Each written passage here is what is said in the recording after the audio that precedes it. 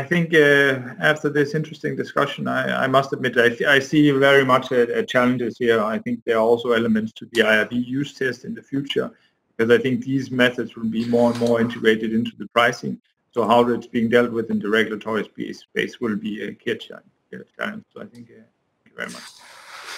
Then I think we're moving to the last presentation by uh, Andre, uh, who actually has had a past at EBA a very long time ago, but is now with the with the, the Federal Reserve, who will give a presentation on uh, the effects on on on cybersecurity attacks and how the uh, financial sector and the role of the financial sector in in the integration into corporates, how they are handling this. So um, I will give the floor more or less directly to you, Andre. Thank you. Thank you, Lars. So, so can you hear me well?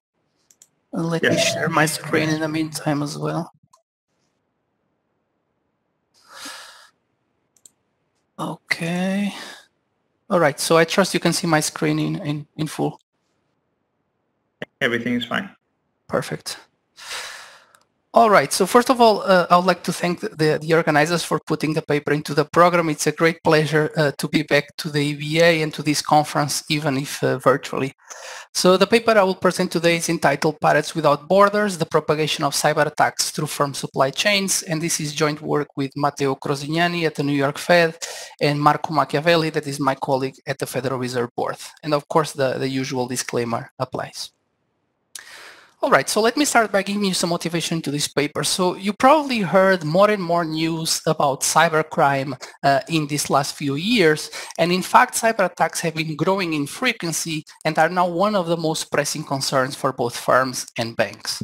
So for instance, according to the latest executive opinion survey of the World Economic Forum, so this was done pre-COVID, but according to the survey, CEOs uh, in both North America and Europe currently list cyber attacks as their number one risk that their businesses uh, face. And cybercrime is an ever-changing threat that, that's comprised of different actors, objectives, and techniques. So for instance, on the one hand, we have the traditional hackers that perpetrate ransomware and denial of service attacks, mostly for small financial gains. And on the other hand, we have state actors that use considerably more sophisticated techniques to obtain strategic information, for instance, intellectual property, or in more extreme cases, like the one we, we look at in this paper, to disrupt the critical infrastructure of a target country. In parallel, we know that the production of goods and, and, services is structured around very complex supply chain networks in which individual firms rely on inputs from other firms from around the world. And we know that these customer-supplier relationships are uh, absolutely key for the transmission of shocks. And this has been shown to be the case following natural disasters, following credit supply shocks, and even following uh, the recent pandemic. Uh, what I want to highlight here is that cyber attacks have some features that make this type of shocks unique.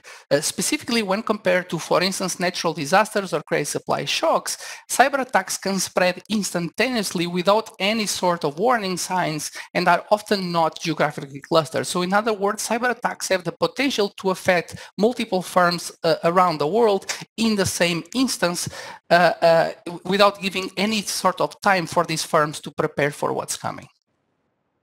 Uh, the key point I want to make here is that despite this increased attention by policymakers, by, by practitioners, even by academics to a certain extent, to the impact of cybercrime on the firms that are directly hit, there is little to no empirical evidence on whether the effects of cyber attacks can be propagated through customer-supplier relationships, and that's exactly what we try to uh, shed light uh, in this paper. So what we do in this paper, so in a nutshell, what we'll do is to examine the economic impact and supply chain effects of the most uh, damaging cyber attack in history so far that accidentally spread beyond its, its original target and affected uh, several firms around the world. So we'll have three research questions that will guide my presentation throughout. So the first obvious question is whether the negative effects of cyber attacks on the firms that are directly hit can propagate downstream to their customers and upstream to their suppliers. If that is the case, we are also interested in understanding how do these firms in the supply chain, so either affected customers or affected suppliers, are able to cope with the shock. Are there any associated real effects, for instance, decreases in investment or employment? And crucially, we want to understand what role, if any, do banks play, play uh, in mitigating the impact of this temporary liquidity shock on firms? Uh, and, and, finally, we are also interested in understanding whether there are some persisting changes in customer supplier networks in response to cyber attacks. So probably in this last point, I will not have uh, time to go through it in this presentation. All right, but let me give you some background information here. So we exploit this unexpected large-scale cyber attack that occurred in June 2017 that was named NotPetya. So according to the CIA, this was an effort by the Russian military intelligence and it was purely targeted at disrupting uh, uh, Ukrainian organizations. So the initial vector of infection was a software that is widely used in Ukraine for tax reporting and initially, this appeared to be just another simple ransomware. So this is an actual screenshot from one of the infected computers. And, and if, you, if you look here at point one, it seems that it's asking to send $300 worth of Bitcoin to a given uh, address. And if you do so, the computers will be decrypted. However, the uh, true intent of this cyber attack was simply to encrypt and completely paralyze the computer networks of Ukrainian organizations. In fact, many firms tried to send this payment over, but nothing happened. The, com the computers uh, uh, remained encrypted for weeks.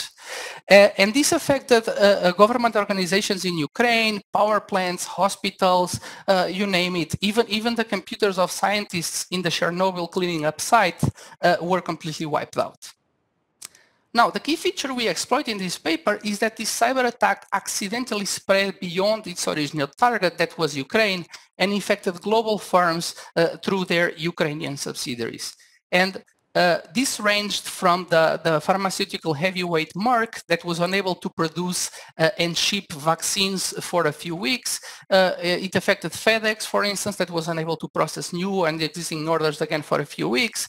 And it also affected the shipping giant Maersk that not only owns uh, these vessels that we see every time we pass by a port, but also managed some of the largest ports worldwide. So for instance, the port of New Jersey was basically in operational, in operational for almost almost three weeks because the computers in the terminal were wiped out, so they were black, and they didn't know which vessels were coming to deliver goods and which trucks were coming to pick up these goods.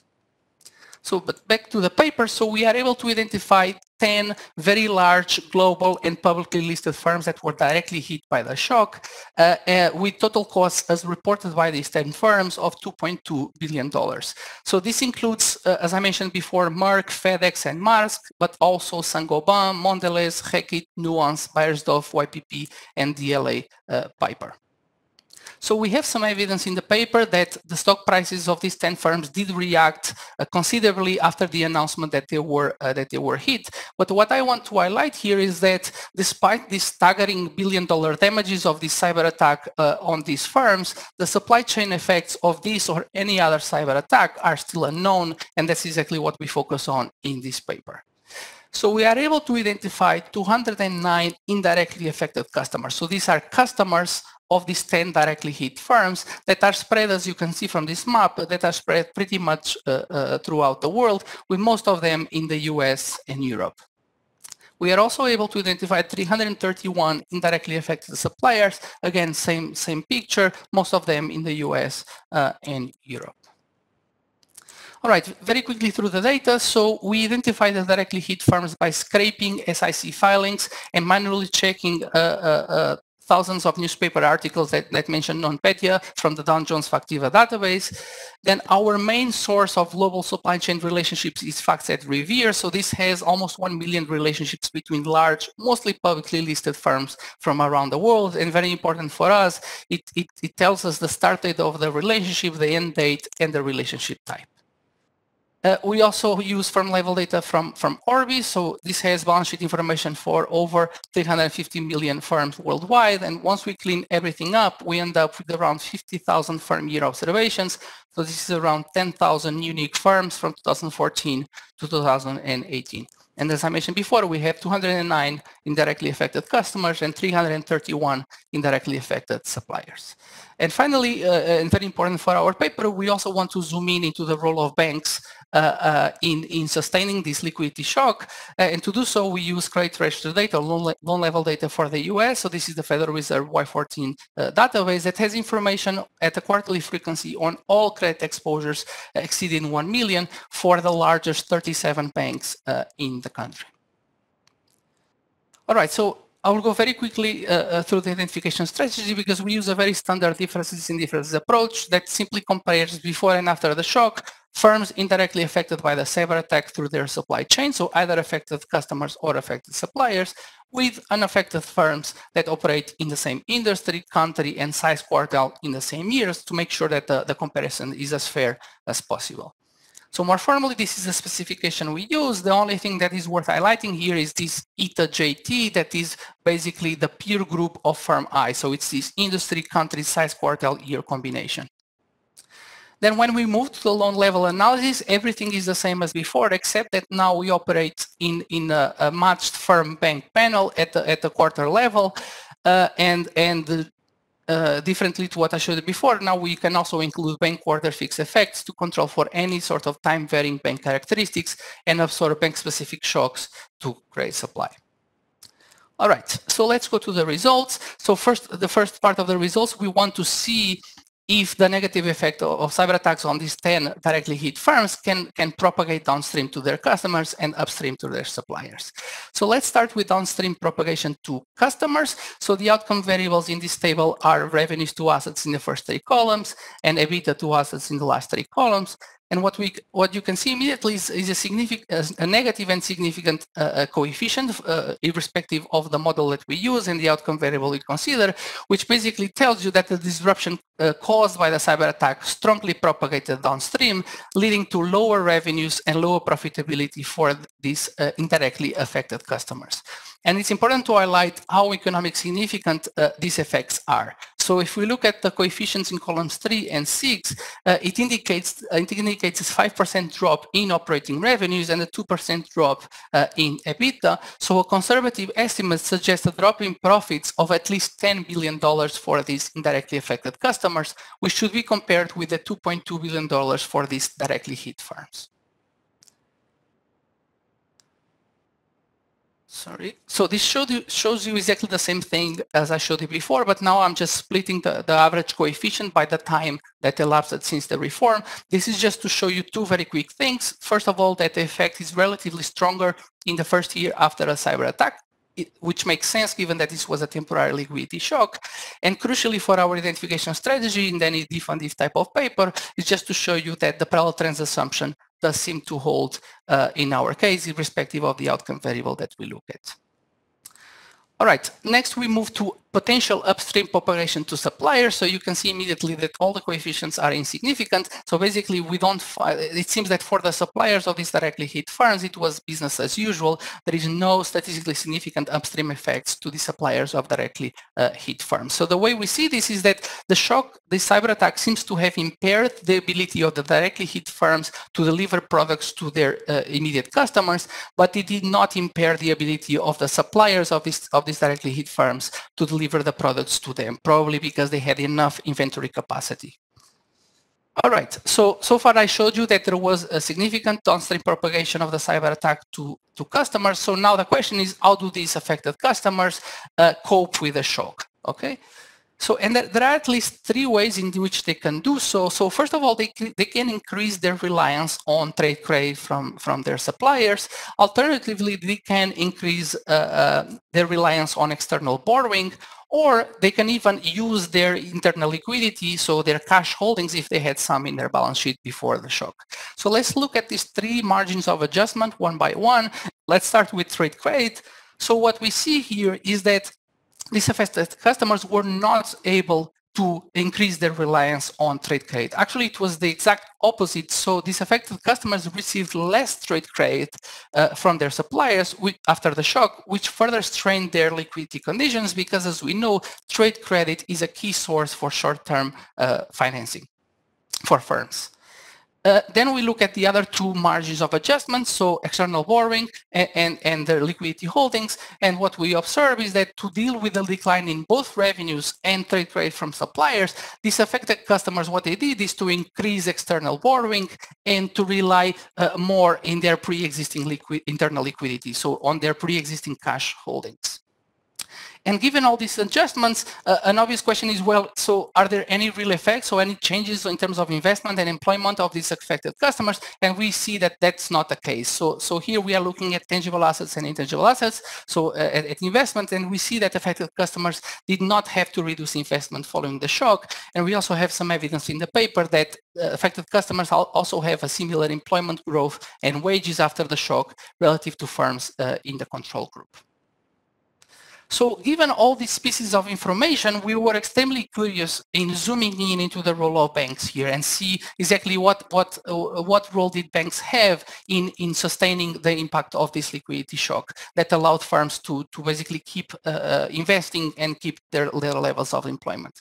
So here we move into uh, uh the loan level evidence from the US the majority of affected customers in our sample are from the US, and the outcome variables here are the total level of committed credit in the first two columns, then the total uh, level of committed credit lines in columns three and four, and then finally in the last three columns, the share of drawn credit uh, uh, in, in total committed credit.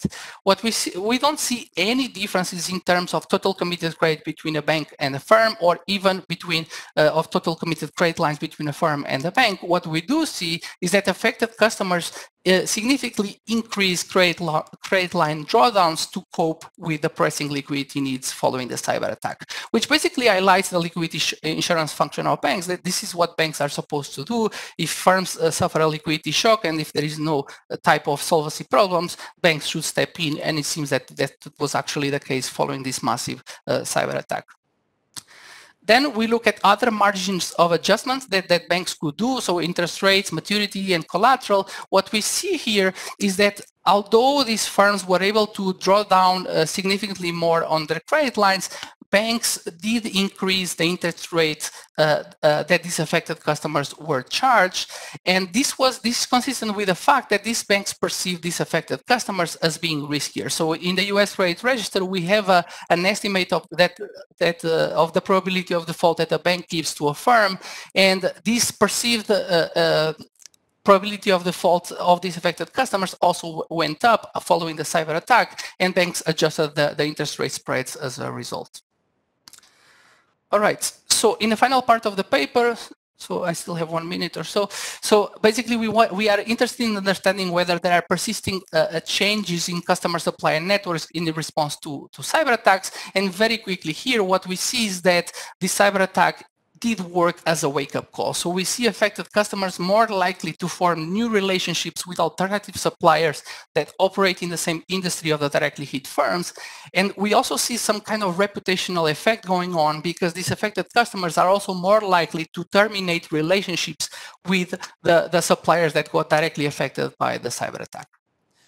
All right, so let me conclude. So what we do in this paper is to examine the economic impact and supply chain effects of the most damaging cyber attack in history so far. I'm sure that in a few years, in a few months, there will be an even, even more damaging cyber attack. And what we see here is that there, there were considerable uh, downstream propagation effects, so reduction in revenues, profits, and trade credit among customers of the directly hit firms.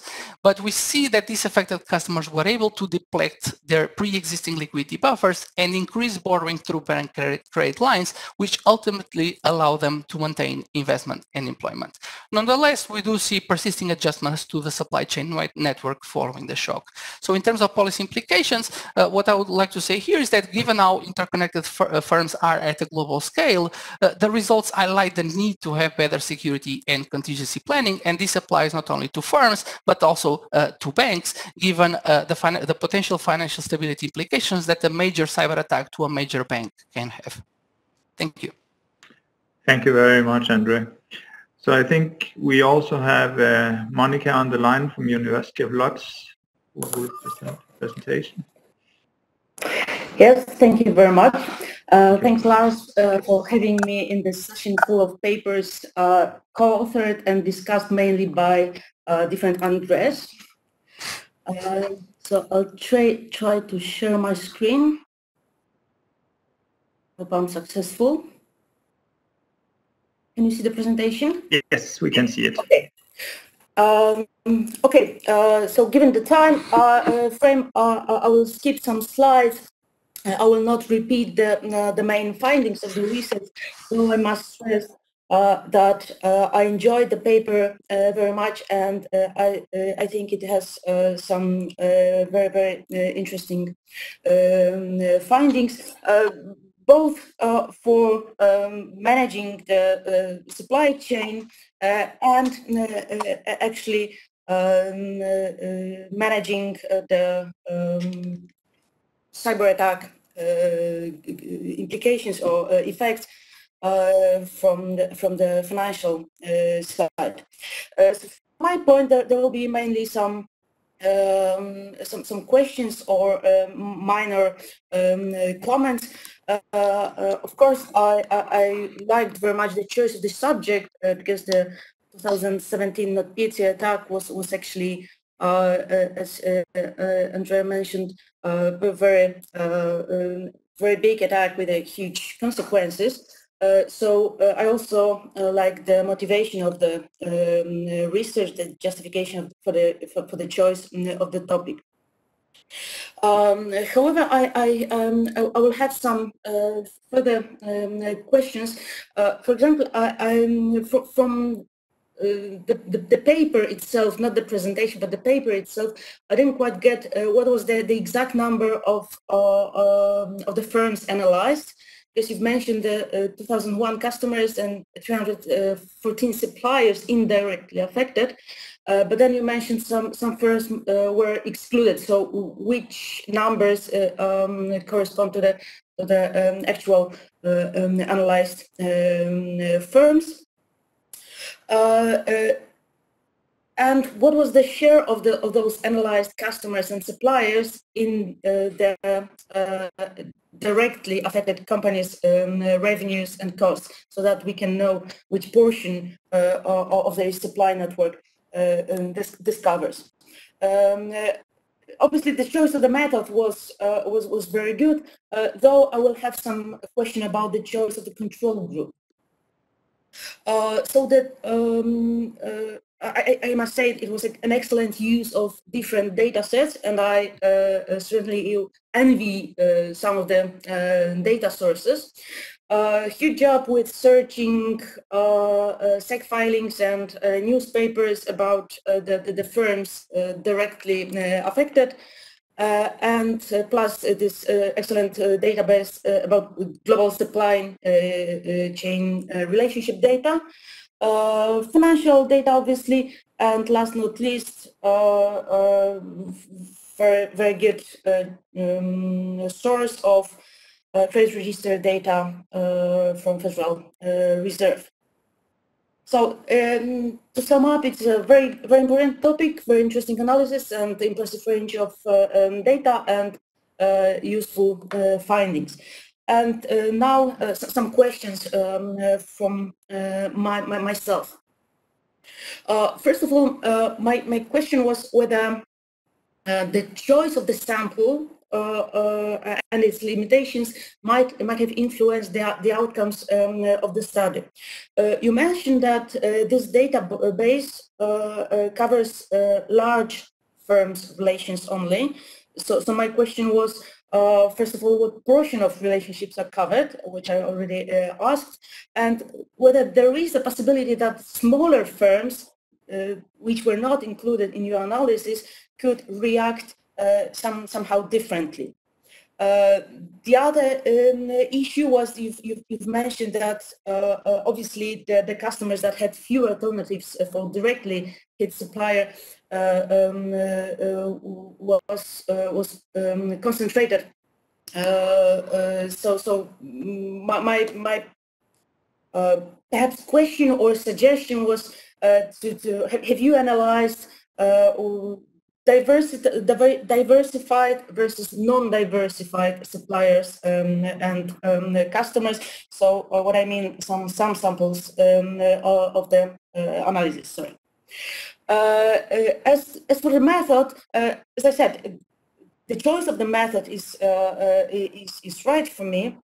although I have a question about the selection of, of control group how how did how did you uh, choose uh, those uh, those companies? you you mentioned that the, these were unaffected firms operating in the same industry, country, and size quartile in the same year. But my question was, given that many many research reports show that as much as half two-thirds or even three-quarters of firms experience a cyber attack, uh, how can you be sure that uh, you are actually uh, uh comparing your uh, uh, indirectly affected companies with actually unaffected um, companies? So, so, that was the basic concern. another question, because it wasn't sure for me, is you analyzed firms uh, uh, uh, from US and Europe, as, as, far as I remember, but the bank credit to firms data covered only US banks. Uh, so my question was uh, uh, whether you, it was only subsample that was that was analyzed, or you, you managed to have data for for um, all companies, or that was just this portion uh, that was um, not um, included. Uh, and uh, second concern is that this data, um, as you mentioned, covers only the data for big banks and big loans. So given the size of the analyzed firms, uh, is there a possibility that uh, they have loans in smaller banks or smaller loans in analyzed banks? So this is not covered in that um, um, data. Uh, and um, uh, last not least, uh, my question is, you've, you've noticed that some customers have changed their suppliers. have you checked whether this is a permanent, this was a permanent um, change? because I suppose you've ended your uh, your uh, analyze uh, on 2018 data. So perhaps if you could uh, go to uh, 19, uh, perhaps you could you could see whether this was a permanent or they they came back to their to, to um, their suppliers, previous suppliers. and you also said that um, estimates indicate that affected customers are more likely than similar firms in the control group to terminate suppliers in the same industry as the directly hit one. So uh, uh, um, my, my question was uh, if relations with suppliers are term terminated in the, whole, the, in the whole industry, was it actually the effect of an attack? Because in case of avoiding the affected company, they, they would just switch the supplier and not terminate the suppliers in the same uh, um, industry, uh, I would suppose. Uh, perhaps uh, um, uh, also findings concerning those uh, internal liquidity buffers and or increased bank borrowing, whether there was any irregularities, which firms used which source and to um, which extent, whether any differences or regularities um, among um, different uh, industries, uh, perhaps. Uh, and um, last portion is was policy implications. obviously, I um, I agree with the implications for better security and needing to improve risk management and contingency planning. Um, but I didn't quite understand uh, the uh, excuse me, my cat uh, uh, is also interested in that. Uh, so, so I didn't quite get this. Uh, um, the, the, the, last suggestion uh, uh, was um, that cyber aggressions for the magnitude of NotPetya state-sponsored hackers at least have an incentive to put in place controls to make sure that the attack does not spread beyond its uh, intended reach. So it was for me like saying to the bad guys, uh, don't be uh, actually so uh, um, uh, so uh, bad. but to, to, to conclude, I, I agree that the paper has very, very important analysis and policy implications. Uh, and the, the, the, important thing is that um, those cyber attacks can create supply chain disruptions uh, similar to those that originate from financial crisis and natural diseases. Um, obviously, there's a question wh whether uh, also caused by uh, biological factors, including pandemic, uh, uh, the, the, current situation perhaps is uh, so different that we have uh, the whole industry, industries uh, um, uh, um, suffering. but once again, I enjoyed the paper. It's very well written. if if my questions could be helpful, um, it, it, I'll be happy. Thank you very much. Thank you very much, Monika. So I think we also have a, a short comment from Andreas from, from, from, the EBA who's working on this from our side. I, Andreas, um, I think... Hello, Lars. I hope, uh, yes, I hope you can hear, hear me. I'll be as short as possible. Uh, first, firstly, let me congratulate all the three authors for this very insightful analysis. As uh, was mentioned before, we are actually lacking for empirical evidences in this area. Um, and uh, one of the outcomes basically of this paper is like it's it's really difficult and challenging to quantify the magnitude of such large-scale cyber attacks. Now, when I first uh, read this paper, uh, three key things came to my mind. First of all, uh, the fact that a chain is only as strong as its weakest link, which is definitely applies to ICT security here. So essentially the impact of a simple uh, single supplier being disrupted uh, can affect multiple uh, parties down the chain. So cyber criminals will often pursue the soft spot of their ultimate target as a sneaky way into the network essentially. And this is why we believe that all companies need to be uh, sufficiently protected against cyber threats. As supply chain security, it's every company's responsibility.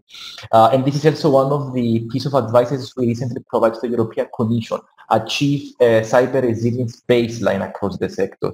Now, the second aspect is that the increasing interconnectedness introduced by global uh, supply chains, which causes, as we see through the paper, a complex web of digital dependencies.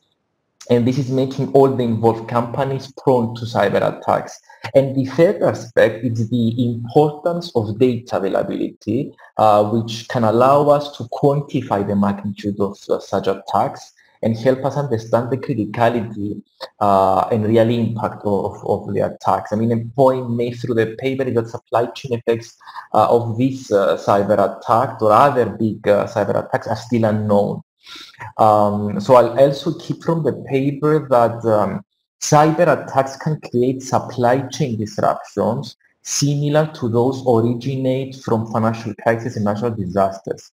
So the increasing disruptive consequences of cyber attacks have alerted the regulatory community both at international level. We've seen the cyber expert group established by the G7, the recent BCBS principles on operational resilience, and also at EU level with the recent EU Cybersecurity Act and the uh, draft proposal on EU Digital Operational Resilience Act. So all these initiatives aim to raise the cyber resilience baseline uh, for all institutions. Now, in terms of, of questions, and I'm glad I'm having this opportunity, I have three questions. Two are most related on the assumption use and methodology, and the third one is a bit more um, uh, policy related. So on the approach followed, compare um, fair, uh, firms that have been indirectly affected versus um, firms that have been unaffected, operating in the same industry, country size in the same year. Uh, one question would be whether there was an analysis made whether other significant events actually took place during the same period that may have potentially impacted the indirectly affected firms or the unaffected firms. It will be good actually to understand and whether there was a thought about that because it will affect, of course, the, the impact of this specific cyber attack. Now, the, the findings also suggest that reliable access to external finance allowed affected customers to absorb the loss in profitability without having to cut the employment or investment. So the question here is, which is going to be quite useful, what happens uh, in case where this access to external finance is not available or is limited? Is there an estimate here, for example, if we had another exogenous shock or financial difficulties at entity level? Now, the third and last question from, from my side is that one of the conclusions is that firms need to improve their contingency planning and avoid reliance to a single supplier. This is, of course, a form of concentration risk. And at least at, e, at EU level, there's a recent action where basically uh, trying to address this concentration and contagion risk for the EU financial sector by introducing an oversight framework for the critical ICT third-party providers. Uh, there are also other proposals requiring financial institutions to define a holistic multi-vendor strategy. So the question here is, um, uh, and I will be keen to get the author's basically view, whether they recommend that a wider coverage, both from a geographical and sectorial perspective, so at international levels covering all the sector, it will be an effective way to build resilience, or these kind of requirements can only focus on entities that are involved in global supply chains. And I'll pause and I hope I was quick. Back to you, Lars. Thank you, Andreas. Well, I think it's my time management of the session. So I, I, I, think I think we have one question from Samuel, but to be honest, in, in the absence of time, because I think we've already run substantially over time. I think I'll just give the floor back to uh, Andre to kind of uh, react, and, and, and then let's wrap the session. Yeah, let me just react to, to just a, a, few points that were raised in both discussions. So first of all, thank you very much, Andreas and Monika, for, for the, the, the thoughtful comments. Uh, so let me just clarify a few things. So one of the main points that were raised by Monika is whether, what happens if we have uh, treat, treated farms in our control group. So basically, what if some farms did not report that they were attacked and we have them there in our control group? This is likely to be, so this is unlikely because first of all, these farms, so many of the farms, for instance, in the US are report are, are required to report any major operational incidents by law. But even if they don't do so, uh, if we have some some treated farms in our control group, we would be underestimating our effects because in a sense our control group will be too stringent in a way. So that gives us some degree of comfort uh, there. Uh, you also mentioned the, the, the US subsample. So just to clarify, yes, so these are only US banks and US firms. So, and we are lucky in a sense that in our setting, most of the indirectly affected customers are from the US, which allows us to zoom in uh, in more detail into them when we work in the loan level uh, uh data. And on your suggestion to uh, extend the sample, to look at whether these are more temporary or permanent effects, it's definitely on our to-do list uh, and we will do it as soon as it's, it's possible. Uh, on two, just very quickly, two points uh, that Andreas raised. So on unobserved, unobserved factors that might affect the, the, the, treatment and control farms differently, we are not aware of any, and we did a, a, lengthy job in trying to find for for some some of these unobserved factors. What we try to do is is to ensure that our control group is as tight as possible, so that we are comparing firms that are incredibly similar in terms of industry, the country they operate, their size, so that any unobserved factor that you can come up with would affect in the same way the treatment and the control firm. So this is basically the best we can do in this case. And to your question, which is a very important point, which is uh, what so in our case only for only the affected customers so firms were affected and the banks were fine. So there was basically the banks could easily just provide the, the liquidity that the firms need. So the question here is that what if both were affected by a major cyber attack a major firm and a major bank that was providing funds to this firm? So we don't have a counterfactual here. So for us it's impossible to estimate what would have happened if so maybe one can do this in Ukraine if one has loan level data for, for, for, Ukraine, because in Ukraine there were banks that were affected as well as firms. So one can do this type of analysis there, assuming that this data is available. It's not to us. So we can only, we can basically abstract from anything that happened in Ukraine and we don't include any Ukrainian banks or firms and just look at what happened in the supply chain uh, across the entire globe.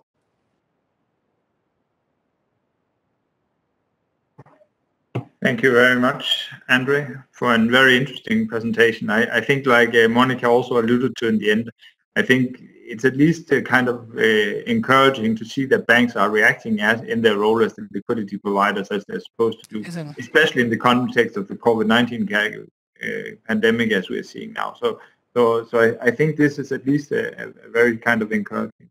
But uh, with that, I, I will not try and wrap up the papers because I think we're already over time. Normally, I would have been able to kind of hold you back to a, to a reception at this point in time, which is unfortunately not, not. But I hope that we will have the opportunity next year to see each other. And then uh, there's only to add that I think uh, I hope to see you all again tomorrow at around uh, 2 o'clock, where Markus Brunnermeier from, from Princeton will give his presentation on money in, in the digital age. So um, hope to see you all again tomorrow, and, and thank you very much today, and apologize for, for slightly going over time. Thank you.